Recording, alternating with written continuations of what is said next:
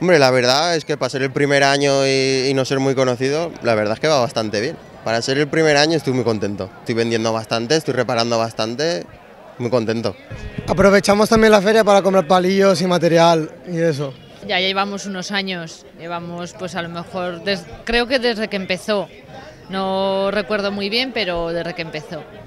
Y vamos, valoración de desde que empecemos, pues ya se sabe que estamos en crisis, entonces sí que es aflojado las ventas, pero bueno. Ahora cuando termine Semana Santa, traer diferentes accesorios para lo que son los diferentes instrumentos y llevo en la cabeza bastantes ideas para el año que viene. Ideas innovadoras que a ver si, si funciona, a ver si suerte y funciona. Un poco el tiempo acompañado, la cosa parece que está animada, pero bueno, ya te digo que dentro de lo que estamos pasando de la crisis, pues bueno, se puede, se puede llevar.